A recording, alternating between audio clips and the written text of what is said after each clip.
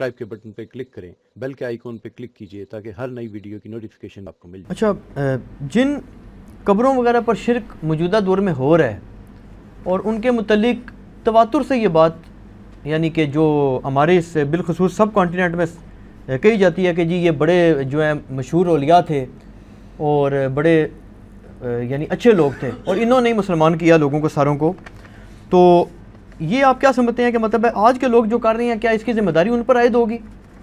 جو کہ چار چار پانچ پانچ آٹھ آٹھ سو ہزار ہزار سال پہلے دنیا سے جا چکے ہیں۔ دیکھیں جی یہ جو آٹھ آٹھ سو ہزار ہزار سال پہلے جا چکے ہیں نا جی ان سے پہلے تو ہمیں ان بزرگوں کو پکڑنا چاہیے جو آٹھ آٹھ سو سال والوں سے بھی پہلے پانچ سو سال پہلے گزر چکے ہیں۔ یہ صحابہ تابعین تبا تابعین، امام بخاری، امام مسلم، جن کی اتھینٹسٹی ہے، دنیا میں جن کی کتابیں مانی جاتی ہیں آپ کے لوکل بزرگوں کو دنیا میں کہیں نہیں جانا جاتا۔ یعنی امام بخاری کا عام نام لینا دنیا کے کسی کونے میں مسلمان کو پتا ہوگا۔ لیکن آپ اپنے کسی محلے کے، کسی گلی کے، کسی شہر کے بزرگ کا نام لینا دوسرے ملک میں تو نہیں جانتے ہوں گے۔ لہٰذا یہ سارے لوکلائزڈ لوگ ہیں۔ یعنی انٹرنیشنل لیول کے لوگ نہیں ہیں یہ۔ باقی رہا کہ ان کے قائد کیا تھے؟ ہمیں اس کی ڈیٹیل میں جانے کی ضرورت نہیں۔ ان کی کتابیں جو ہم تک پہنچی ہیں وہ ٹیمپرڈ فارم میں بھی ہو سکتی ہیں اس میں قائد تو کتاب و سنت کے خلاف ہے ان کے بارے میں ہم اس لیے حکم نہیں لگا سکتے وہ ہمارے سامنے موجود نہیں ہے۔ این ممکن نہیں ان کی کتاب ہی نہ ہو۔ کتنی گستاخانہ عبارتیں میں نے ہائی لائٹ کی ہیں مسئلہ سیونٹی ون بی کے اندر۔ انڈیا اور پاکستان کے بزرگوں کی انیس گستاخانہ عبارات کا تحقیقی جائزہ۔ اگر ان کی یہ ضد ہے کہ یہ کتابیں ان کی ہیں تو یہ بڑا خطرناک معاملہ ہو جائے گا۔ ہمارا موقف یہ ہے کہ جو مر چکا ہے اپنے انجام کو پہنچ چکا ہے۔ اچھا یا برا اللہ تعالیٰ کے سبرد ہم کسی کے بارے میں کوئی نیگٹو بات نہیں کرتے۔ اور کسی کے بارے میں ایسی پازیٹیو بات بھی نہیں کرتے کہ کل کو ہمیں اللہ کے حضور جواب دے ہونا پڑے۔ ہم خاموشی اختیار کرتے ہیں۔ ہم آج کے دور کے لوگ جو عقائد لے کے آئیں گے، ان کو کتاب و سنت کے اوپر پیش کریں گے۔ پرانے لوگوں کا معاملہ جو ہے نا، وہ ان کے ساتھ رہنے دیں۔ آپ تعلیمات کو ڈسکس کریں کہ یہ تعلیم ہے۔ ہم تو کہتے ہیں ان کے بارے میں جو چیزیں منسوخ کر رہے ہیں، وہ صحیح صنعت سے ثابت ہی نہیں ہے۔ آپ سے میں پوچھتا ہوں، اس دنیا میں سب سے بڑے بزرگ وہ ہیں جن کو سب سے زیادہ لوگ مان رہے ہیں۔ انسانوں میں وہ بزرگ کون ہے؟ حضرت عیسیٰ علیہ نبی علیہ السلام ہمارے نبی علیہ السلام کو کم لوگ مانتے ہیں۔ کیونکہ عیسیٰ ابن مریم کو پونے دو ارب عیسائی بھی مان رہے ہیں اور ڈیڑھ ارب مسلمان بھی مان رہے ہیں۔ ان کے ماننے والے، ماننے سے مراد as a personality as a prophet جو بھی ہے، اس میں ٹیمپرڈ فارم میں لڑا لیکن دنیا میں سب سے زیادہ شرک کس کے نام پہ کھڑا ہوا ہے؟ عیسیٰ علیہ السلام کے نام begotten son of God God incarnates یہ سارا کچھ بولا جاتا ہے۔ لیکن کیا عیسیٰ علیہ السلام کے بارے میں ہم یہ کہہ سکتے ہیں کہ نعوذ باللہ ان کی یہ تعلیمات تھی قطن. اگرچہ ان کی طرف منصوب تعلیمات شرکیاں ہیں لیکن قرآن ان کے دفاع پہ کھڑا ہوا ہے۔ کھڑا۔ ٹھیک ہے؟ باقی کسی بزرگ کے بارے میں قرآن نہیں کھڑا ہوا۔ اس لیے ان کے بارے میں ہم خاموشی اختیار کرتے ہیں۔ عیسیٰ علیہ السلام کا ہم گج وج کے دفاع کریں گے۔ وجیہن فی الدنیا والآخرہ۔ اللہ نے قرآن میں کہا ہے لقد کفر الذین قالوا ان اللہ هو المسیح ابن مریم۔ بے شک وہ کافر ہے جو کہہ رہے ہیں کہ عیسیٰ ابن مریم جو ہیں وہ اللہ ہی تھے۔ وقال المسیح، جبکہ مسیح تو خود کہتے تھے، یا بنی اسرائیل اعبد اللہ ربی و ربکم. اے بنی اسرائیل، عبادت کرو اس اللہ کی جو تمہارا بھی رب ہے اور میرا بھی۔ انہو من یشرک باللہ، فقد حرم اللہ علیہ الجنہ ومأواہ النار وما للظالمین من انصار۔ بے شک جو کوئی شرک کرے گا، اللہ نے اس پہ جنت حرام کر دی، اس کا ٹھکانہ دوزک ہے، وہاں اس کا کوئی مددگار نہیں ہوگا۔ عیسیٰ ابن مریم کی طرف سے تو میرے رب نے گواہی دے دی ہے، عیسیٰ ابن مریم کا دفاع تو میں ہر جگہ پہ کروں گا۔ باقی کسی شخص کا دفاع ہم اس لیے نہیں کریں گے کہ دونوں طرف باتیں موجود ہیں۔ ہم نہ نیگیٹولی کرتے ہیں نہ پازیٹیولی ٹھیک ہے. ابھی اذانیں شروع ہو گئی ہیں اور اس کے بعد انشاءاللہ تعالی ہم باقی اس کو کنٹینیو کرتے ہیں انشاءاللہ تعالی. جی شاہ جی اگلا سوال کریں. اچھا علی بھائی اس سوال سے نا ضمن ایک مزید میں کلیریفیکیشن کر لوں تاکہ یہ بات بالکل کنکلوڈ ہو جائے.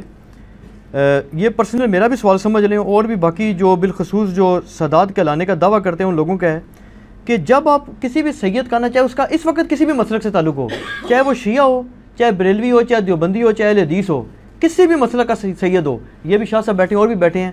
آپ اس کا شہد نصب کھول لینا۔ اب اس کی اتھینٹسٹی پہ میں نہیں جاتا کہ اس کی کیا اتھینٹسٹی ہے۔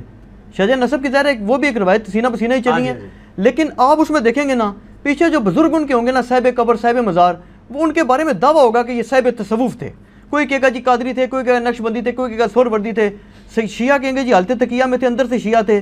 سنی کہیں گے نہیں جی یہ تو صحیح سنی۔ یہ کیا کنسیپٹ ہے؟ اس صدات میں سارے تصوف کہاں سے آ گیا؟ جی جی جی۔ پہلی بات یہ کہ آپ کا یہ دعویٰ باطل ہے۔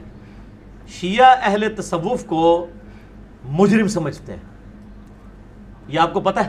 نہیں وہ ان کے لیے تو کہ کہتے ان کے ہیں۔ کمپیٹیٹر وہ ہیں۔ ان کے مستحد کہتے ہیں لیکن سادات کسی کی آپ لڑی کھول لیں وہ پیچھے لڑی جو مرضی کھولتے رہے۔ پریکٹیکلی شیعہ اہل تصوف کو مجرم سمجھتے ہیں۔ وہ کہتے ہیں انہوں نے ہماری گدی کے اوپر قبضہ کیا ہے۔ ہماری یہ نقال تھے۔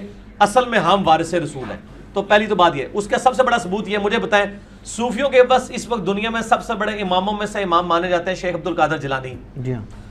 ان کو شیعہ ماشاءاللہ جس طرح تبرہ بازی کرتے ہیں آپ کو پتہ ہے؟ وہ ناسبی کہتے ہیں عبد القادر جلانی کو۔ جی۔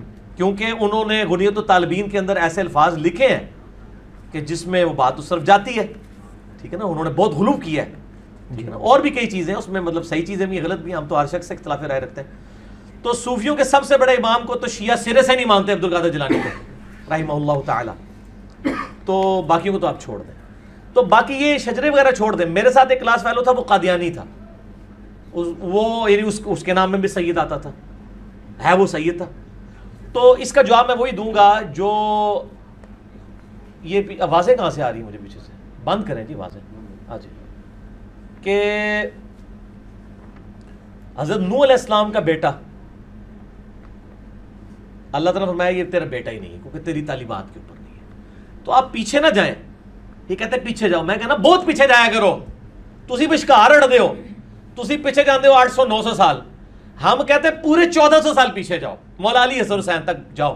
اور دکھاؤ حدیث کی کتابوں سے کہ مولا علی کس قبر سے مانگتے تھے اور مولا حسین کس صوفی سلسلے کے تھے۔ دکھائیں۔ یہ پیچھے نہیں جاتے ہیں یہ درمیان میں لٹکے ہوئے ہیں۔ پیچھے ہم جاتے ہیں۔ پیچھے سے مراد کے آٹھ نو سو سال پیچھے ہے۔ پیچھے سے جہاں سے بات سٹارٹ ہوئی ہے۔ ہم تو کہتے ہیں تین سو سال کے بعد پولوشن آ گئی ہے۔ بخاری مسلم میں حدیث ہے سب سے بہتر زمانہ میرا۔ پھر صحابہ کا پھر تابعین کا پھر تبا تابعین کا اس کے بعد جھوٹے لوگ پیدا ہوں گے۔ یہی تو ہمارا مقدمہ ہے۔ ہمارا یہ پورا چیخو پکار کا مقدمہ اس کے اوپر ہے کہ جو ہزار سال پیچھے آپ گیارہ سو سال پیچھے جاتے ہیں وہیں تو خرابی شروع ہوئی ہے۔ ہم کہتے ہیں تھوڑا جاؤ اور پیچھے جاؤ۔ وشکار نہ اڑو پورا پیچھے جاؤ ادھا پیچھے نہ جاؤ۔ مزہ آیا جی پورا پیچھے اسی پیچھے جانے ہیں تسی ادھے پیچھے جانے ہو اسی پورا پیچھے ٹر جانے جی تو کام سٹارٹ ہویا سی ٹھیک ٹھیک ہو ٹھیک ہے اچھا ایک سوال ہے جی کہ غیر مسلم ممالک میں جو مسلمان فوت ہو جائیں انہیں کیا کافروں کے قبرستانوں میں دفنایا جا سکتا ہے یا لازمی ان کو اپنے ممالک میں واپس بھیجا جائے گا میرا خیال ہے واپس ان ممالک میں لانے میں بڑا تردد ہے ایک ایک ڈیڑھ ڈیڑھ دو دو ہفتے تک لاش کی بے ربطی ہوتی ہے اور فریزرز میں بھی رکھتے ہیں بعض اوقات بیچ میں سے وہ چیزیں بھی ریموو کرتے ہیں اور یہاں پہ لوگ کہہ رہے ہوتے ہیں اپنی سرزمین تک پہنچ جائے، او میرے بھائی، وہ چاہے شیر کے پیٹ میں جائے، سمندر کے اندر جائے، ہوا میں راگ بکر جائے ایئر کریش میں۔ اگر وہ نیک تھا تو جنت اس کو مل جانی ہے مرتے ہی اور اگر وہ بد تھا تو دوزک اس کو مل جانی ہے۔ آپ کے پاکستان دفنانے سے کوئی جنت دوزک کا فیصلہ نہیں ہونا۔ ہاں تو میں بتا رہا تھا کہ وہ مطلب جنازہ لانے میں یہاں پہ تردد ہوتا ہے، فریزرز کے اندر وہ رکھتے ہیں۔ بس اوقات بیچ میں سب کچھ نکال دیتے ہیں دو دو ہفتے یہاں پہ بھی لوگ جنازے کے انتظار میں ٹنگے رہتے ہیں بعض اوقات پھر لاشوں سے بھی بدبو آ رہی ہوتی ہے۔ بڑے عجیب معاملات ہوتے ہیں۔ جی ہاں بالکل۔ ٹھیک ہے نا؟ ہم نے تو خود ایکسپیرینس کیا۔ بالکل اللہ تو بہتر یہی ہے کہ وہ وہیں پہ ہی آپ بے شک کافروں کے قبرستان میں ہی دفنا دیں کوئی حرج نہیں ہے۔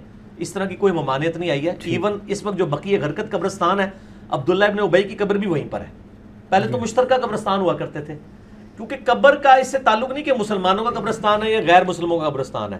قبر جو ہے وہ تو میں آپ کو اب اگلا سوال کہتا ہوں کہ یہاں پہ مسلمانوں کا قبرستان کی طرح سے ہاں جی۔ پہلا تو میرا سوال یہ ہے۔ میں آپ کو بتاتا ہوں صحیح مسلم میں حدیث ہے انٹرنیشنل نمبر کے مطابق ٹو فور سکس کہ نبی علیہ السلام نے فرمایا کہ بندے کے کفر اور اسلام کے درمیان فرق نماز ہے۔ نماز نہ پڑھنے والا عملاً کیا ہے؟ کافر۔ کافر۔ تو مسلمانوں کا قبرستان کتنے جے کڈو۔ لیاؤ۔ آپ جو قبرستان بھی لے کے آئیں گے نا اس میں اگر ایک ہزار مردہ ہوگا نا تو نو سو زیادہ بے نمازی دفن ہوگا۔ بالکل ایسے ہی ہے۔ تو ان کو کہیں دفنانا ہی ہے۔ اگر صرف شناختی کارڈ والے مسلمانوں کے قبرستان دفنانا پھر ضرور بھیج دو۔ ٹھیک ہے اس طرح قبرستان تو آپ کو کہیں بھی نہیں ملے گا۔ یہ پھکی والا جواب ہے علم الکلام والا۔ ٹھیک ہے جی۔ جہاں پہ ہے وہیں پہ دفنائیں۔ اصل چیز ہے دفنانا۔ باقی وہ بعض کہتے ہیں جی کافروں کی قبروں میں تو چونکہ عذاب ہو رہا ہوتا ہے تو وہاں ہمارا مردہ نہ دفن ہو جائے۔ تو تانوں کی نے کہا کہ مسلمانوں کی قبریں عذاب نہیں ہو رہا؟ کیا اے سنت کے مطابق نماز زندگی گزار کے مرے ہوئے نے کہ اتنے جناب سارے دے اندر نور بلیا ہوا ہے؟ ٹھیک ہے نا؟ یہ تو اللہ نو پتا ہے کہ عذاب ہو رہا ہے کہ نہیں ہو رہا۔ بالکل صحیح۔ جدھر ہے وہیں پہ دفنا دیں کوئی ضرورت نہیں یہاں بھیجنے کی۔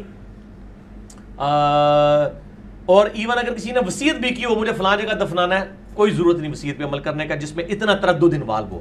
اور لاش کی اتنی بے حرمتی ہوتی ہو۔ جدھر جدھر ہے وہاں پہ آپ دفنا دیں۔ یہ لوگوں نے بڑی عجیب و غریب باتیں مشہور کی ہیں کوئی دلیل نہیں اس کی۔ جہاں پہ چاہے مرضی دفنائیں۔ اس طرح کی کوئی مانیت نہیں کیونکہ اسلام کے زمانے میں جو قبرستان تھے زمانہ جہالیت کے لوگ بھی وہاں پر دفن تھے دوسرے بھی وہاں پر دفن تھے۔ نبی علیہ السلام نے تو عبداللہ ابن ابئی کا جنازہ پڑھایا ہے۔ بخاری مسلم میں آتا ہے لعاب دان اس کے منہ میں رکھا ہے۔ جس کا جنازہ آپ نے پڑھایا تو کافروں کے قبرستان میں تو نہیں دفنایا۔ مسلمانوں کے قبرستان میں دفنایا کیونکہ اس سے بڑا کام کر دیا ہے کہ وقت پیغمبر نے جنازہ پڑھا دیا ہے۔ ہاں یہ نبی علیہ السلام کہا گیا کہ آندہ آپ نے کسی منافق کا جنازہ نہیں پڑھانا اور کسی منافق کی قبر پہ کھڑے نہیں ہونا۔ وہاں یہ کہا جا سکتا تھا کہ کسی منافق کو آندہ سے اپنے قبرستان میں نہیں دفنانا۔ سورہ توبہ میں یہ تو کوئی نہیں آیا۔